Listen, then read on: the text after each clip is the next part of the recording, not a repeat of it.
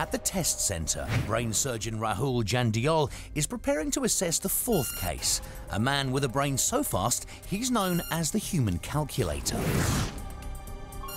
Originally from Cuba, Yusnier Viera was a child maths prodigy. He now holds several world records for mentally calculating what day of the week random dates fall on. So tell me about this calculation and this ability you have. Does it help you in regular life? How do you use it? I love numbers, so numbers are everywhere. Numbers are, are, my passion. It's like knowing a new language, the language of numbers. So I use the language of numbers everywhere I go. That makes me more like efficient to take decisions, you know? So when you go to a restaurant, it's time to pay the bill and it's going to be a service charge. You do the math for everybody. Exactly. so we're very amazed with what you can do. We want to see it in action. Are you ready for it? Yes, definitely. All right, let's put you to a test.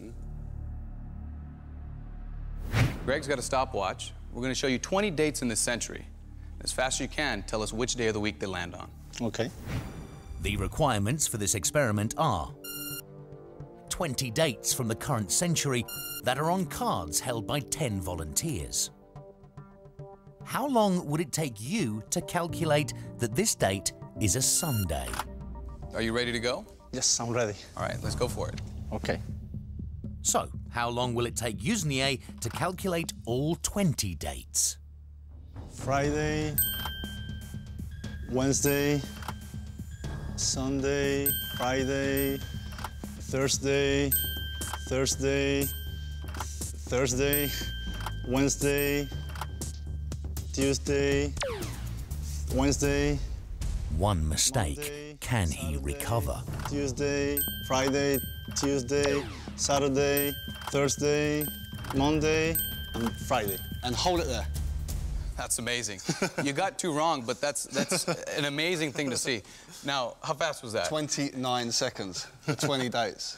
So, so what we're thinking is, if all men could do this, there'd be a lot less grief because we'd never miss our anniversary. That's true enough. My initial reaction when I saw Yusnier was total amazement. It's a very complicated task, and to see him perform it that quickly was very impressive. As these dates were randomly generated, Yusnier could not have learned the answers. He must have calculated each one. But just how complicated is that? All right, so we just saw something very amazing. Simply, there's too many numbers to memorize. Yeah. So tell us about how you do it. Perfect. Let me show you the formula. You have to get the year, Yusnier assigns code numbers to the year and month and then applies a multi-stage formula known as an algorithm. when you get the whole addition, you need to divide that whole addition by seven. And you only care about the remainder. If your remainder is one, what does that mean? If it is one, it's Monday. If it is two, it's Tuesday, and so on. His algorithm was something I think lots of mathematicians could say that makes sense. What's impressive to me is the application of that algorithm repeatedly. So what we want to do now is sort of look inside your brain, try to figure out what part of your brain is responsible for the special feat. Okay, that up sounds that? good. Yeah. Rahul sends Yusnier for an fMRI brain scan. During the experiment, Yusnier performs several complex calculations. Now we shall run the calendar task. Are you okay with that? Yes. Rahul analyzes Yusnier's results with neuroimaging expert Dr. Stuart Derbyshire. So we looked at your brain while you did your calendar calculations, and we're looking for blood flow. Whichever part of the brain you're using, blood will go there, and we can detect it with some of the colors. Shall we talk about what we found? Yeah, let's have a look. All right. So what I see here is what we expect that the biparietal or the left parietal, which is right above your ears, this region is activated, okay? The, the math center, there's a calculation area that's there.